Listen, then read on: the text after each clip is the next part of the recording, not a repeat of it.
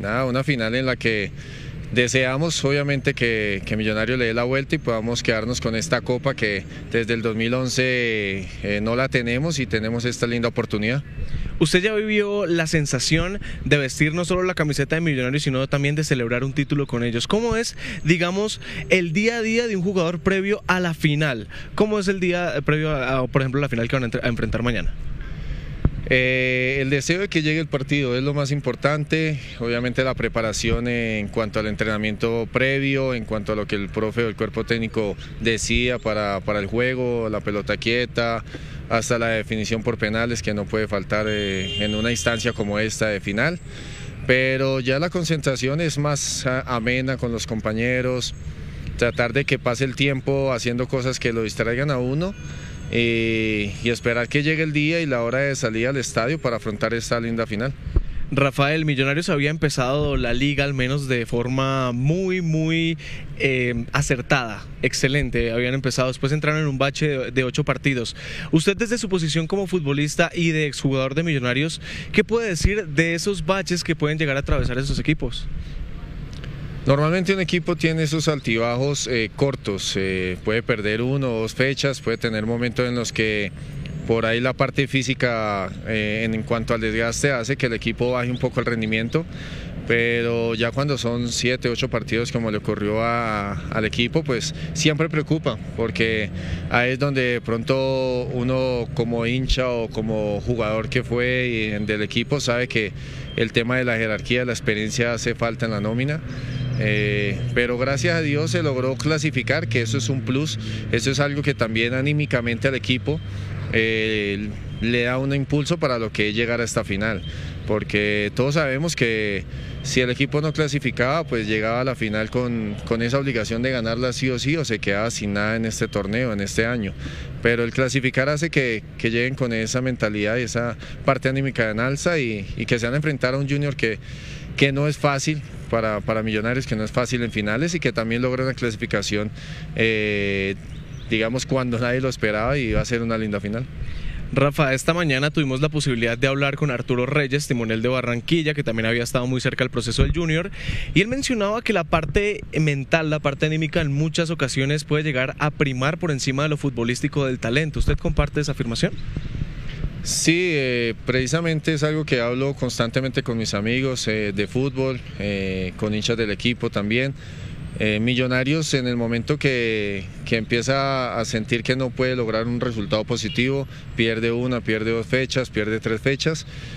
uno como jugador y el ser humano también entra con esa parte anímica, digámoslo que por el piso, psicológicamente entra predispuesto a los partidos, ya no se llega con la, misma mentalidad o el mismo mensaje mental de decir hoy vamos a ganar, sino hoy no podemos perder. Entonces es algo que, que lastimosamente se vive como ser humano, esos momentos difíciles eh, que no se trabajan al 100% en un equipo profesional o en las bases de los equipos a los jóvenes, porque estos momentos pueden llegar, a Millonario le ocurrió y si nos damos cuenta las últimas fechas, Millonarios no tenía la misma movilidad, la misma regularidad deportiva que, que mostró en las primeras fechas y hasta las opciones de gol claras que creaban no le entraban, entonces eso dentro del terreno de juego a uno como jugador le genera eh, esa duda de qué va a pasar. Y aparte los rivales llegan una vez y hacen el gol, hace que anímicamente y mentalmente el jugador sienta que, que no va a conseguir el resultado que quiere y, eso afecta también la parte física y colectiva de un grupo.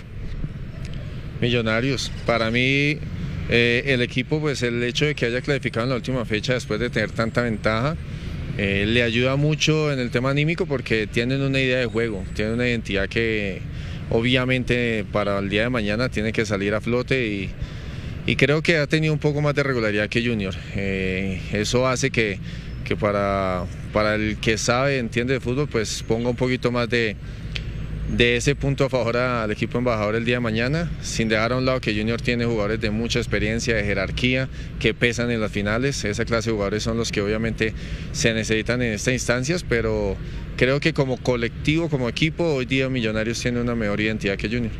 Rafa, lo veo usted hablar y analizar muy bien de fútbol y precisamente hablemos de ese Junior, porque como usted muy bien dice, tiene una nómina amplia, juega también muy bien a la pelota, bueno, desde que está con Comesaña, que parece que la mística no se pierde, pero esos equipos no terminan siendo muy peligrosos y un arma de doble filo en partidos tan importantes y decisivos como el de mañana.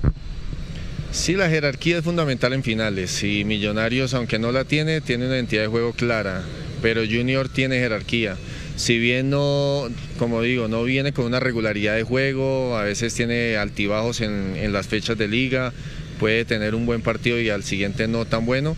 Eh, tiene jugadores de finales, eh, tiene jugadores que, pueden aparecer en las finales y esos son los que Millonarios tiene que tener cuidado porque son de esos jugadores eh, que pueden dañarte la celebración en la última jugada del partido, iniciando el juego hacen el gol, como Carlos Vaca, como Carmelo Valencia, tiene jugadores que, saben qué es jugar estas instancias y, y bueno, ahí lo importante es que Millonarios colectivamente esté bien concentrado y pueda sacar ventaja con el colectivo.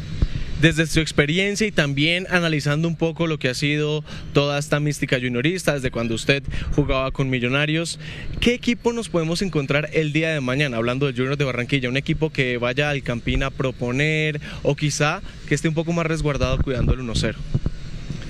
La verdad, Junior nunca ha venido a proponer a Bogotá. En todos los partidos que ha jugado, en los que yo estuve presente, nunca ha venido a proponer.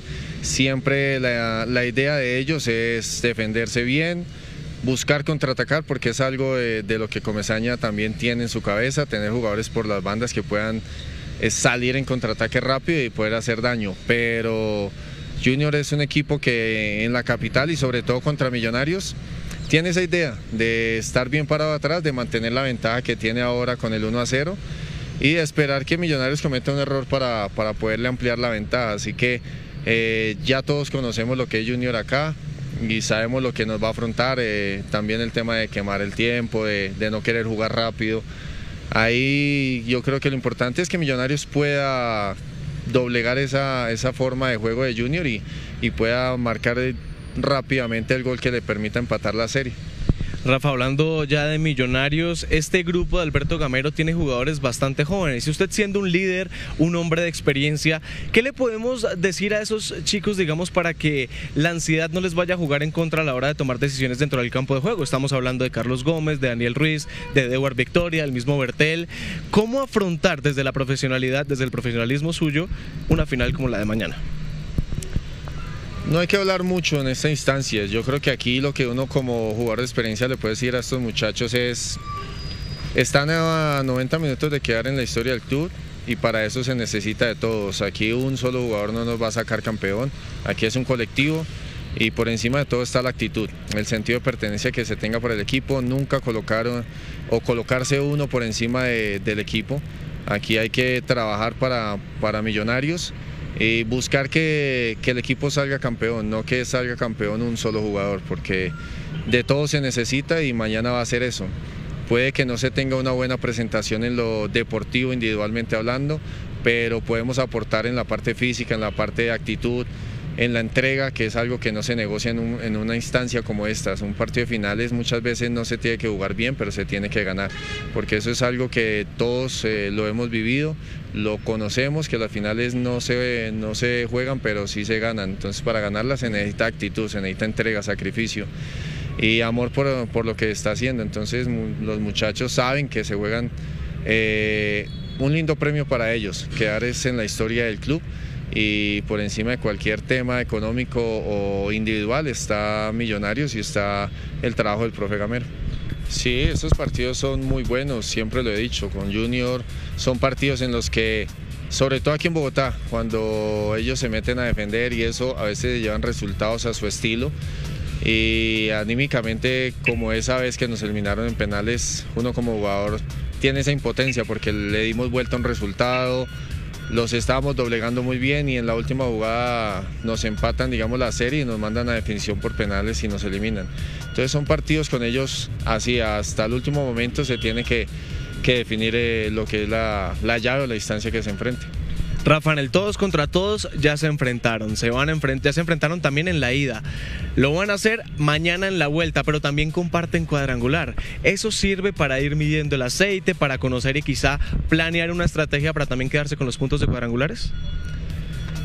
Cada partido es diferente, pero anímicamente y emocionalmente también eh, quedar campeón mañana Millonarios eh, ante Junior va a hacer que en los cuadrangulares Junior ya tenga otra visión de lo que es enfrentarnos. Entonces yo creo que eso va a ser algo que tanto el profe Gamero como el profe Comesaña lo van a tener presente, ¿no? Lo que es el partido de mañana, porque en cuadrangulares van a tener que enfrentarse otra vez y ya el conocerse tantas veces hace que, cada partido se maneje desde otro punto de vista. Bueno, Rafa, yo no lo voy a comprometer, pero sí me gustaría que me dijera si de pronto mañana va a haber ganador o nos vamos a ir a los cobros desde el punto penal. Mañana Millonarios va a ganar en los 90. ¿Cuánto va a ganar, Rafa? Mañana le da vuelta, mañana 2-0 o 3-0 queda el partido. No, no le pongo cuál de los dos, pero sé que Millonarios va, a quedarse con la copa sin necesidad de irse a, la definición de punto penal. Venga, Rafa, una última. Eh, ya lo habíamos mencionado, lo comentábamos, usted ve muy bien y analiza muy bien el fútbol. Los hinchas y nosotros los periodistas podemos soñar con un Rafael Roballo, director técnico. si Dios lo permite, si está en la voluntad de él, sí, ahí estamos eh, aprendiendo, dando los pinitos en el fútbol aficionado y, disfrutando de esa parte también, porque pues todavía nos queda fútbol en cancha, pero vamos haciendo esos pinitos para, ir conociendo lo que pronto más adelante puede dar. Eso quiere decir, y para despejar chismes y especulaciones, que Rafael Roballo va a seguir jugando al fútbol. Sí, es la idea. Tenemos esas posibilidades para el 2023. Eh, estamos preparándonos, trabajando día a día físicamente y, y en todos los aspectos para llegar eh, de la mejor manera y seguir obviamente compitiendo. Bueno, Rafa, pues muchas gracias por aceptar la invitación y que le vaya muy bien en todo. Vale, Juan José, muchísimas gracias a ti, a toda la gente de Winsport, un abrazo fuerte a todos los televidentes e hinchas de Millonarios que mañana nos vemos en la final.